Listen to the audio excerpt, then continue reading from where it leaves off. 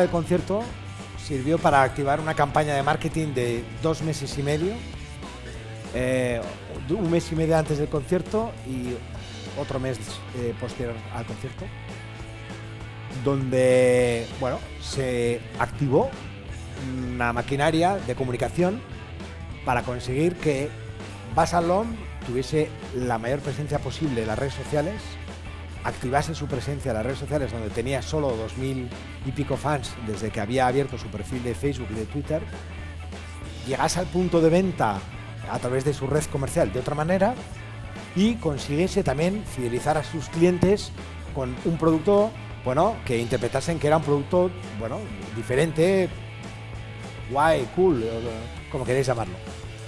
Entonces, por un lado, en las ópticas colocamos una serie de códigos que eh, si validabas en el Facebook y en el Twitter de Basalom te daban derecho a una de las 300 entradas físicas para asistir al concierto. Por otro lado, el propio David Bustamante en su Facebook y en su Twitter publicó eh, las promociones de los códigos para que la gente se los descargase y pudiese participar en las entradas. Paralelamente a todo eso, hicimos una acción con los clientes de Basalom, invitándoles al concierto para conocer a David Bustamante y tener un, meet and greet con él, un encuentro privado detrás del escenario. Y eh, eh, distribuimos la nota de prensa a todos los medios y convocamos a todos los medios al propio concierto para explicarles que David Bustamante era la primera vez que iba a hacer un concierto en Twitter y que quería homenajear a sus fans de Twitter haciendo este concierto. Y lo que pasó, el resultado que sucedió es que se generó de un solo producto de contenido de hora y media, que fue un concierto en alta definición, grabado como un concierto de televisión, con cámaras, con, bueno, con, eh, emitido en streaming, eh, una locomotora de dos meses y medio con campaña en Twitter, con campaña en Facebook, con campaña en el punto de venta, con publicidad gratuita hablando del artista y hablando de la marca Basalom, eh, valorada en más de dos millones de euros, con unos objetivos de ventas por parte de Basalom con la acción eh, del 7% y eh, el, resultado final fue que aumentó las ventas un 14% en ese trimestre, multiplicó por 6 su capacidad de conversación en, el Facebook, multiplicó por tres el número de fans en Facebook y en Twitter y, fuimos capaces de hacer que el contenido en ese momento se convirtiese en esa locomotora de la que hablábamos. Más ejemplos, más casos. Una de las cosas que más nos ha estado funcionando es ayudar a las marcas que hacen eventos a desarrollar su propio contenido en el evento. Porque está calculado que cada evento de comunicación de una marca tiene una inversión en publicidad de entre 60 a 140 mil euros. Comprando espacios en, medios, escritos o en radio, comprando espacios en televisión, haciendo spots, sea cual sea la fórmula, cada marca que quiere comunicar un evento tiene que hacer una inversión en publicidad. Para evitar eso, lo que nosotros proponemos a las marcas es, ¿por qué no generas tu propio contenido del evento? Eh, y haces que eso sea tu campaña de marketing y de comunicación. Y este es un ejemplo que hicimos con Serpa, no sé si conocéis Serpa, la, el asistente virtual para... Bueno, es un emprendedor que se llama Xavier Uribe Echevarría que, quiso hacer un evento de innovación muy potente en Bilbao y le propusimos crear Serpa Televisión, su propio canal de televisión online, y ahí comunicar todo lo que quería eh, contar a sus eh, consumidores, al mercado y a todo aquel que se interesase por el, por el contenido. Y construir desde ahí un plan de distribución de ese contenido, hablando con blogs de tecnología, hablando con medios de comunicación digitales, hablando con medios de comunicación televisivos eh, y radio, etcétera, para distribuir ese contenido. Es decir, desde la creación original del contenido, crear una paquetización para luego distribuirlo a todas las ventanas digitales posibles que sean afines o parecidas a ese tipo de contenido.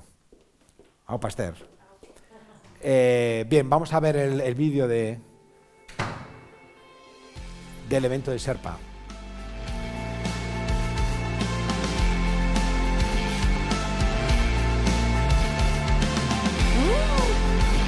Bueno, esta es la presentadora. Esa es la marca que queramos ser para televisión. Ahí, eh, bueno, veíamos la, la mosca que queramos para el canal.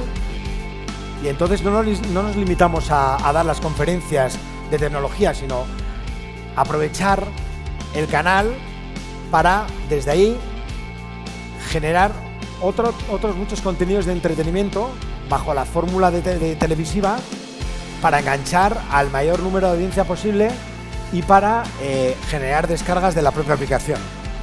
Entrevistas, eh, backstage, eh, momentos divertidos, conferencias, descargas de las aplicaciones y al final el producto pues tenía el, look y la estética de, un, programa de televisión, de un programa de entretenimiento que lo que está retransmitiendo es un evento de tecnología. vamos directamente ya.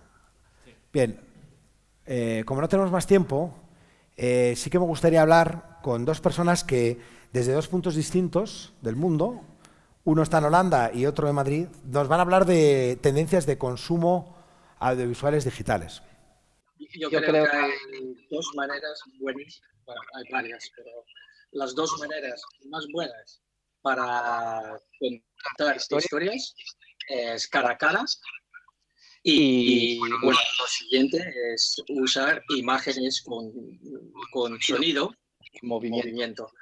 Es obvio que es el, el, futuro, para mí por lo menos es obvio, es el futuro para comunicar para, para marcas sus, sus valores y también para interactuar con su target, target group vemos que, vemos que la, gente, la gente, y especialmente la gente joven, ve cada vez menos la televisión y, y le encanta el vídeo, consumirlo digital y compartirlo. Y bueno, no sé si sabes si has hablado de eso, pero por ejemplo, Facebook, que ha lanzado vídeo hace más o menos que un, un año, en septiembre del año pasado perdieron un millar de vídeos al día y ahora son cuatro millardos al día. Así que está creciendo brutal. En YouTube estamos a 10 millardos de vídeos consumidos al día y vídeo es el mejor medio para comunicar valores, porque se puede, ¿cómo se dice?, provocar emociones mejor que en otro medio. ¿Y Drivers eh, cómo funciona? ¿Es una aplicación? ¿Es una plataforma digital? ¿Cómo funciona el producto Drivers? Es una, es una plataforma digital. Nosotros vivimos donde está nuestro target group. Nosotros nos enfocamos en lo que, se llama, lo que llamamos los, llaman los milenios. Y eh, bueno, somos una plataforma en un .com que tenemos nuestro eh, propio eh, site y en el tiempo vamos a desarrollar también aplicaciones, pero para crecer el, el, la plataforma y la marca empezamos en el, en el web con el .com, pero también estamos en Pinterest y estamos en Instagram y muy importante para nosotros también es Facebook. Eh, seguro que con el tiempo lanzaremos también en Snapchat, y, pero somos una marca que quiere inspirar a la gente para tener un impacto positivo. Y para transmitir eso, vídeo es, es, fundamental. Eh, ¿qué, ¿qué, tipo de, de, contenidos hay en la plataforma? ¿Hay contenidos de tecnología? ¿Hay contenidos de, de estilo de vida? Eh, ¿Cómo, cómo habéis dividido el tipo de contenido en una plataforma así? Eh, bueno, tenemos categorías y eh, uno es people, gente. Eh, hay, mucho, hay, muchos héroes que nosotros queremos eh, dar más, que la sociedad les preste más, más atención. La tecnología es un, es fuente muy importante para, para mejorar el mundo. La ciencia, igual, eh, tenemos contenidos enfocados en en el medio, medio ambiente Em, y así, tenemos, tenemos como siete categorías para, para, empezar y también damos la posibilidad a la gente no solo eh, elegir el contenido por los siete categorías que tenemos, pero también usamos muchos tags para que la gente también pueda buscar todo lo que tiene que ver con, con un sitio, por ejemplo, o todo lo que tiene que ver con los homeless, o todo lo que tiene que ver con energía sostenible, por ejemplo. Hay, hay, varias maneras en que se puede accesar el, el, el archivo de contenidos. Eh, si, en la, si el vídeo eh, en esta plataforma se utiliza como una herramienta de generación de valores y de generación de cambios positivos para la sociedad por parte de las marcas, ¿cuál es el modelo de negocio aquí producto así? El modelo de negocios es, tenemos dos eh, fuentes de ingresos, ingresos. Uno es que las marcas que, quiere, que creen también que el futuro de, de advertising es contar historias y empresas que marcas que también quieren tener un impacto positivo y saben que es muy importante comunicarlo porque si no los milenios en unos años ya no quieren no comprar sus, sus, productos. Esas marcas los, eh, los, ofrecemos la posibilidad de llegar a los milenios y para el exposure tienen que pagar si quieren tener sus, su contenido promocionado en el homepage durante una semana, dos semanas, tres semanas en varios soportes, en varios mercados. Tiene que pagar para, para, para eso, para accesar eh, los, los milenios en un entorno donde solo tenemos positividad. Yo creo que eso es muy importante. Hay más plataformas donde puedes encontrar eh, contenido inspirador, pero también encuentras un montón de contenido de violencia, o de, ¿cómo se dice? Cotillar, de, cotilleo, de hola, 10 minutos, yo qué sé. Eso es, gracias. Eso es el, primer modelo, es que las marcas tienen que pagar para, eh, para exposure. Eh, y lo segundo es que nosotros estamos ayudando a marcas y sus agencias cómo comunicar con los milenios y hacemos contenidos inspiradores a, medida. Y entonces eso es la el segundo fuente de ingresos, es la producción de original digital video content. Bueno, eh, en este contexto, eh, las, marcas eh, tendrán la posibilidad de tener sus propios canales de contenidos en, en esta plataforma. existe la posibilidad de que una marca tenga su propio canal eh, dedicado a sus propios contenidos? O... Bueno, todavía eh, propios canales todavía no, no los tenemos, pero pueden formar parte de todo lo contenido que nosotros ponemos y parte de ese contenido es contenido patrocina, patrocinado. Yo he visto alguna historia realmente curiosa como la de sí. el vídeo de, un inventor holandés que con 17 años ha inventado un software que sí. el nivel de producción del mar. Cuéntanos un poco la historia de esto antes. Ah, sí, sí, sí, sí. Eso es un chico que eh, ahora tiene 19 años, es un genio que se llama Boyan y eh, era un estudiante en la Universidad Técnica, a lo mejor de Holanda, en Delft y ha dejado sus estudios porque es, tan es un genio que está trabajando en una solución para el plastic soup, la sopa, la sopa de plástico que tenemos en los, los océanos.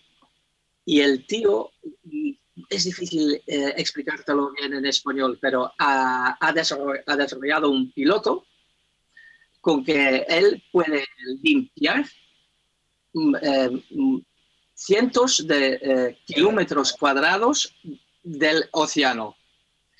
Y el tío, ah, eh, por, ¿cómo se llama? Crowdfunding, no sé cómo se dice eso en español. Y el, el, tío ha logrado obtener dos millones eh, por crowdfunding y en un año y medio empieza en Japón para, para limpiar el océano. Y, y, eso es, yo creo que ese es un ejemplo buenísimo, porque lo que está haciendo ese chico es que, que ve un problema y en lugar de solo quejarse y, deprimirse, dice, bueno, no, tenemos que, seguro que hay soluciones, debe haber. Y, ya está trabajando con un equipo de, yo creo que con 25 personas y lo está, lo está, lo está haciendo.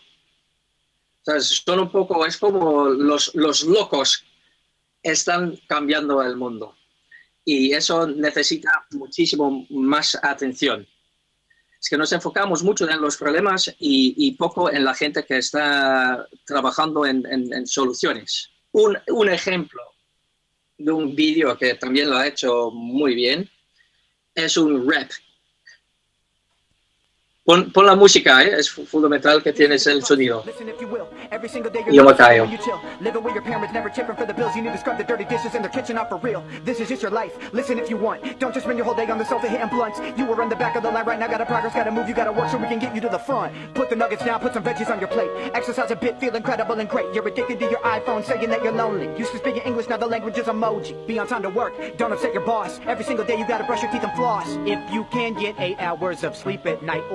mentally you'll be lost. Consume a lot of food or water before you go drink. Lots of alcohol or you'll be puking in the sink. Breakups really freaking hurt, let me mention. Before you fall in love, know the person's intentions. Listen to this twice, this is just your life. Even if you're not religious, live it like you're Christ. Gotta just accept that there will be days where you wake up feeling crappy It don't matter, make it a mission to be nice.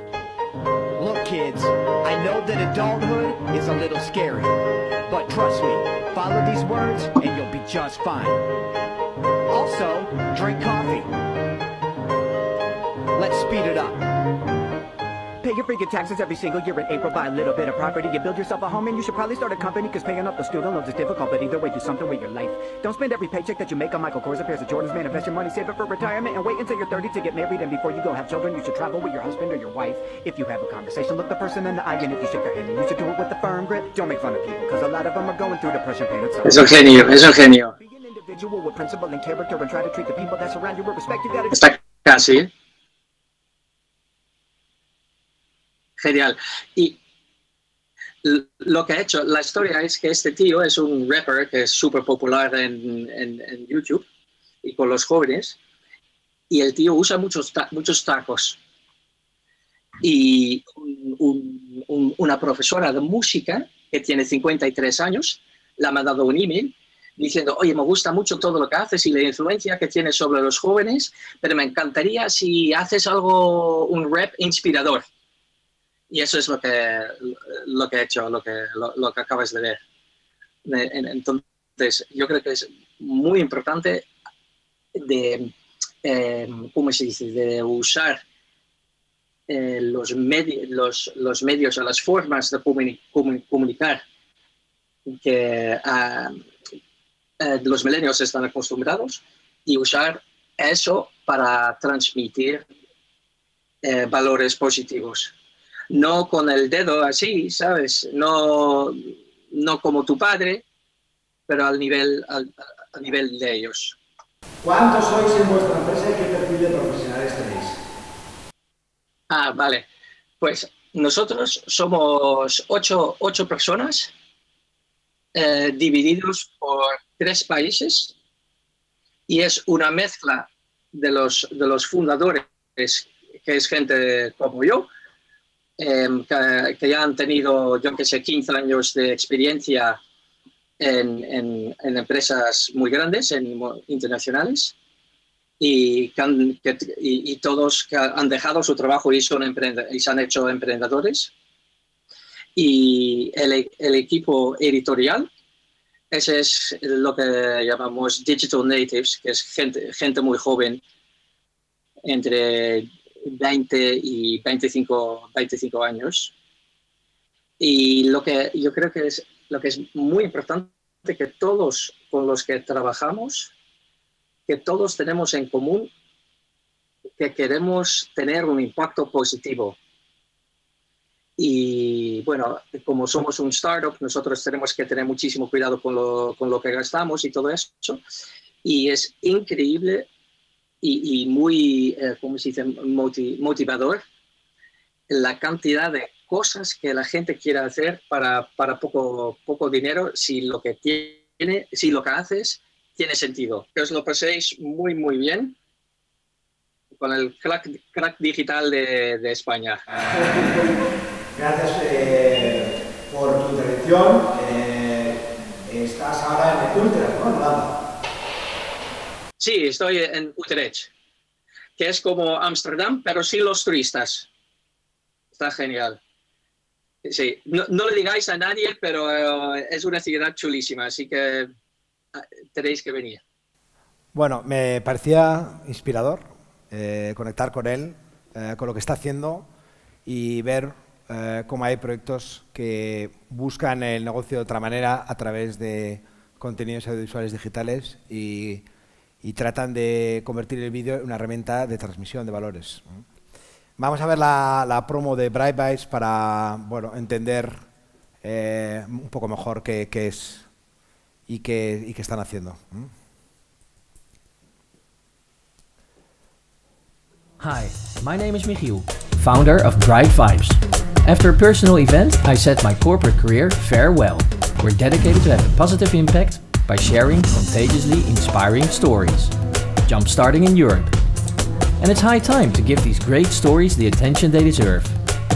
Stories that inspire us all to contribute to positive change, no matter how big or small. And we're not a second too early. Every Sunday's getting more bleak, fresh poison each week. We were born sick, you heard them say it. My church offers no absolutes. She tells me worship in the bedroom. The only heaven I'll be sent to when I'm alone with you. I was born sick, but I Esto, love it. esto es una búsqueda real de Internet. Si tú pones las noticias, me. me, las respuestas de, de Google son deprimen y hay una que no está, que es me hacen llorar. Eh, Esa es una búsqueda real de Internet. Eso es lo que está pasando con el impacto de eh, noticias negativas y de contenidos negativos que nos impactan. Bright Vibes is all about people like Jérôme Char, the 24 year old French guy, This is freedom. also known as the king of social media, with 8 million followers on Vine Oh my god, you're the Vine guy! and 2 million on Instagram. In this inspiring video, Jérôme shares with us how he responded to an offer by a global brand to earn $1 million It'll be the full year for a million dollars. as he felt he would have to give up his journey towards global happiness and personal development in exchange for a big check. He decides to turn down this offer in favor of keeping his creative freedom. I have eh, to go, I'm sorry. ¿Puedo parar un momento?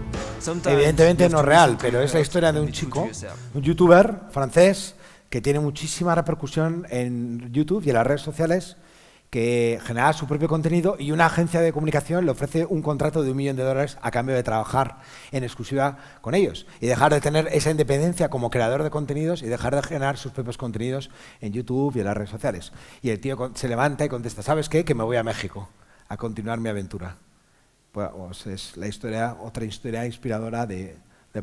¿no? Eh, este chico no, no- al, al poco de, de- de irse a México, pues continuó con su trabajo y bueno, Miguel eh, me ha contado que de vez en cuando manda contenidos de, de lo que está haciendo. ¿no? Fue capaz de, rechazar un millón de dólares para trabajar en exclusiva para una compañía a cambio de mm, seguir manteniendo su libertad y sus ganas de contar al- cómo él veía el mundo y cómo él veía el mundo desde su forma de generar contenidos. ¿no? I don't know where this journey will lead us, but it starts now.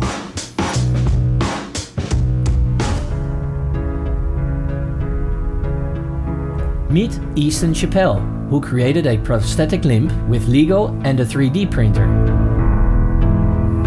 Bringing costs down from $60,000 to less than $350. Now that's using technology for good. He grew up in a really tough neighborhood, but his strength is an example for us all. that you get 84,600 seconds a day. Imagine if you wake up every day with $84,600 in your bank account. And every day, at the end of the night, it's gone, whether you wasted it or not, and then the next day you get another $84,600. Take every day and every moment and make something of it, make something positive. 40 100 meter sprinters in the US of A. Carlin Isle was an okay sprinter, but by using his talents in a different context, he has now become one of the fastest rugby players ever. When we say at Bright Vibes we like fixers, we can only love Bojan. He's another brilliant 19 year old inventor who has developed a way to clean up the oceans on a huge scale. He's already raised over $2 million in funding. Bright Vibes is all about inspiring people. We focus on millennials or anyone else who's young at heart. Informing, inspiring, entertaining, and empowering them on their journey to have a positive impact. We focus on the fixers, not the complainers, by putting positive changemakers and their results in the spotlight. The Bright Vibes business model is based on native branded content carefully curated and professionally produced by our editorial team in cooperation with inspiring talent, brands and NGOs.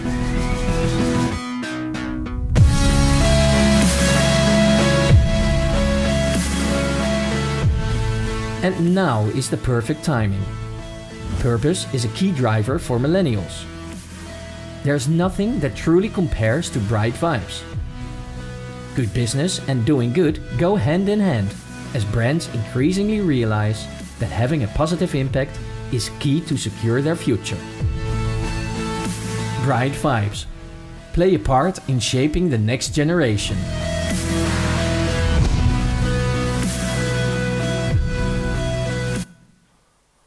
Bueno, un ejemplo de cómo hacer las eh, cosas de otra manera, ¿no? a través de la opción de contenidos. Eh, el tema de la, red virtual no lo tenemos, ¿no? No, este hombre no está, ¿no? Una vez dicho esto, eh, lo que quería pasar es ahora un poco a, las lecturas o conclusiones finales. Una primera que es, ya hemos visto que hay distintas formas de monetizar los contenidos, de forma directa o indirecta, que lo importante es, elige tu opción, eh, ten claro qué quieres comunicar, y a qué tipo de público quieres comunicar tu contenido, que no hay una regla escrita y cada, cada, cada caso de proyecto de contenido tiene que estar hecho a medida, tiene que ser trajes hechos a medida, y que una vez que definas tu contenido, eh, puedes desarrollar modelos de negocio alrededor de él que te permitan, de maneras muy distintas, incluso como hemos visto generando cambio positivo en la sociedad, eh, explotarlo. El modelo de negocio es el epicentro de una multitud de opciones una vez que hayas decidido lo más importante, que es el germen, crear ese contenido. Desde opciones de marketing digital, como hemos visto en el ejemplo Bustamante, crear merchandising alrededor de un producto televisivo, dar el salto a la televisión en abierto como el metaformato de House of Cards en Netflix, generar modelos de streaming financiados por publicidad, como veíamos en Serpa en el evento de su marca, donde se colocaba publicidad de Serpa para generar descargas del propio producto, a través de modelos de suscripción, a través de modelos mixtos donde el contenido es gratuito, pero eh, llegado a un nivel de desarrollo de ese contenido se convierte en un contenido de pago, lo que se llama modelos freemium estableciendo micropagos por SMS para descargar productos o servicios, pagos por descargas, eh, venta o alquiler en línea, crowdfunding, eh, incluso, ¿por qué no?, eh, conseguir que ese contenido esté a través de distintos acuerdos distribuido en operadoras de telecomunicaciones. Yo me acuerdo que en el año 2004 yo era directivo de la compañía Endemol, productora de entretenimiento, llevaba el área digital del grupo y vendimos un contenido en exclusiva para Emoción, que era en la división de vídeo de Movistar, basado en la vida y vivencias de Melendi, el cantante Melendi, mm, mucho antes de lo del avión. ¿eh? Eh, y, fue un, producto exclusivamente eh, hecho para una operadora de telecomunicaciones, que consideró que era una herramienta lo suficientemente potente para eh, captar clientes. Entonces, eh, no, es verdad que no se puedan monetizar los contenidos. Eh, hay formas y fórmulas de hacerlo. Hemos visto hoy algunos formatos y algunos modelos. Lo importante es, insisto, elegir tu opción, saber qué, qué público quieres buscar y qué tipo de contenido eh, es el que tú piensas que es el mejor para desarrollar tu estrategia de marketing o comunicación y a partir de ahí desarrollar tu modelo de monetización. Y por último, eh, una vez creado el contenido y una vez creado el modelo de negocio y su distribución, no os olvidéis que cuando hablamos de marketing digital de contenidos es muy importante la medición, porque si no mides no existes. Y para poder medir tu resultado con éxito en el marketing digital de contenidos, pues existen una serie de parámetros. Por un lado, las redes sociales tienen sus propias métricas para analizar el éxito o el fracaso del, contenido. Cada medio social tiene su analítica. Por otro lado, también están los medios a los que puedes llegar a través de publicidad gratuita, o sea, publicidad que tú generas porque despiertas interés y los medios cubren tu contenido, en blogs, en noticias, en medios digitales, etc. Y aquellos medios donde tú inviertas como advertiser, o sea, como eh, eh, compres porque consideres que eh, es necesario para poder impactar con tu contenido. Puedes invertir en desarrollar tus propias aplicaciones para dispositivos móviles y a través de esas aplicaciones, como hemos visto en el caso de Aerobaby, puedes generar métricas, puedes generar resultados de comportamientos de consumo que luego te permitan vender y también tienes que eh, comparar con lo que está haciendo tu competencia y con el histórico de las campañas de contenidos que hayas hecho antes, de la que ahora estés desarrollando. Con todos esos parámetros eh, es necesario desarrollar tu propio sistema de medición. Yo siempre digo lo mismo, en lo digital hay muchas plataformas que pueden ayudarte a medir, pero lo importante es buscar una que consideres que responde a lo que tú necesitas.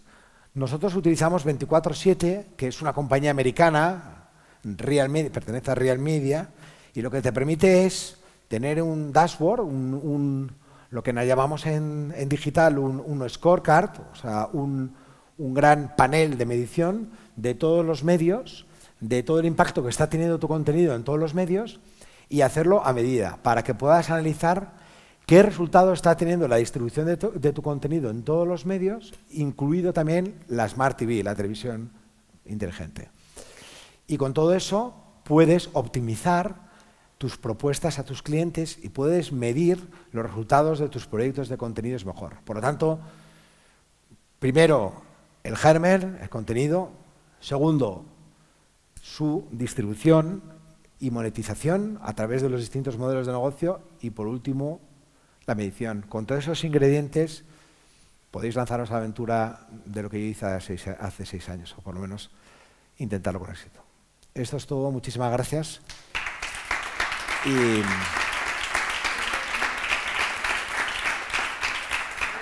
si alguien tiene alguna pregunta o quiere debatir de cualquier cuestión, eh, este es el momento. Tenéis ahí un micro disponible y podéis eh, preguntar e intervenir como queráis. Y hay plataformas donde eh, esa historia que estás contando a través del vídeo se puede, por lo menos, contar de otra manera para impactar a más público de otra manera. Y, también hay, hay, fórmulas para comunicar lo que estáis haciendo desde YouTube, habiendo vuestro propio canal, o desde vuestras páginas en redes sociales, o buscando este tipo de, blogs y de, y de plataformas que ya existen, que están contando este tipo de historias, que son inspiradoras para otros y que cuenta las cosas de otra manera y, decir, y no, no tienes por qué directamente hacerte tu blog. A lo mejor puedes hablar con un blog especializado en eh, historias de fe o, en, al final son historias humanas, son historias de cambio de las personas. Y hemos visto que hay plataformas donde tú puedes hablar con ellos y decir, me interesa comunicar lo que estoy haciendo. Lo que hay que ver es cuál es el objetivo. Viendo el caso que es, yo iría a una plataforma de crowdfunding, que hay muchas, que busca financiación de la gente para ayudar a, desarrollar causas como la de tu padre y que tiene un altavoz a través de Internet y a través de, de plataformas de online donde eh, puede contar su historia y pedir que la gente participe y eh, que la gente dé donaciones. También eh, puede, emitir en, a través de streaming, puede emitir en, su propia web o en un blog las, misas. Y ahí hay comunicar que está buscando participación ciudadana para recaudar fondos, porque yo lo que creo es que no hay peor expectativa que lanzar algo eh, que no esté definido. Eh, muchas veces eh, en esto nos ha pasado en televisión y en, otras cosas, intentas generar expectativa con algo que no es un producto acabado. Yo no lo haría, yo lo haría cuando ya tuvieses claro qué, comunicar y cómo.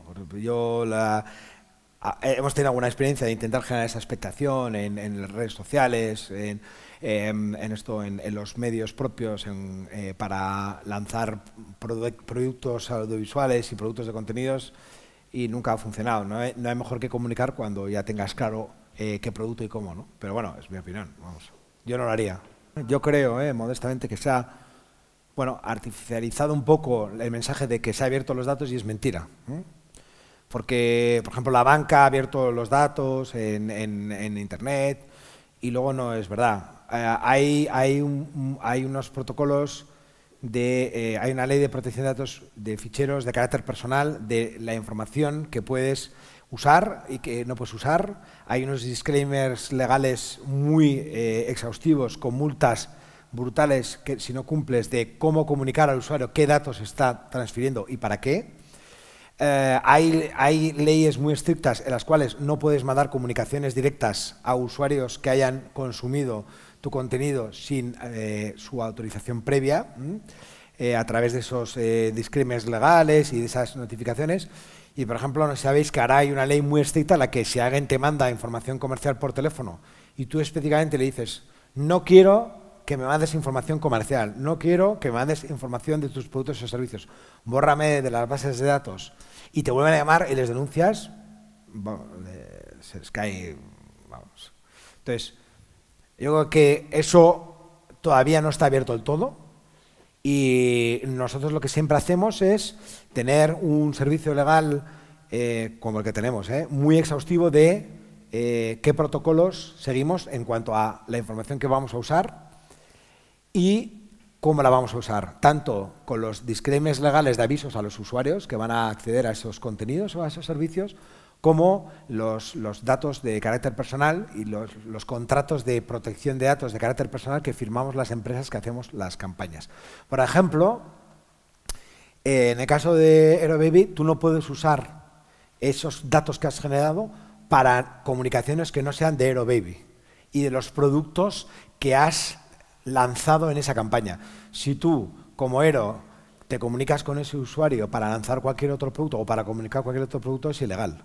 Entonces, mi diagnóstico es de forma cautelosa, con, una, con un marco legal muy exhaustivo y cumpliendo todos los protocolos, porque no es verdad que se hayan abierto los datos tanto como para eh, poder hacer comunicaciones abusivas.